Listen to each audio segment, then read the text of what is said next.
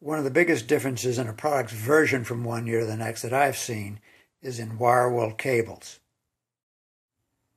The cable on the left is the WireWorld Eclipse 6 speaker cable, which is last year's model. And you can see that the conductors are arranged side by side so that the overall appearance of the cable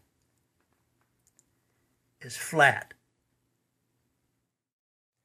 The cable on the right is the Eclipse 7 speaker cable, and you can see that the conductors are arranged in a spiral fashion.